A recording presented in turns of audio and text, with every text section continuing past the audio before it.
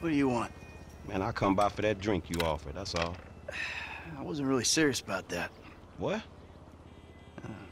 You're here, whatever. Sit. You're not gonna rob me again. Man, I never robbed you. That was just a repossession. Okay. You call it whatever you want to call it. I really don't care. What can I do for you? Shit, I just came by to see if there's something I can help you with. I see you doing well for yourself. Look, I'm retired. Ain't you a bit young for the pipe, slippers, and staring at a fucking sunset? You know, I've been in this game for a lot of years. And I got out alive.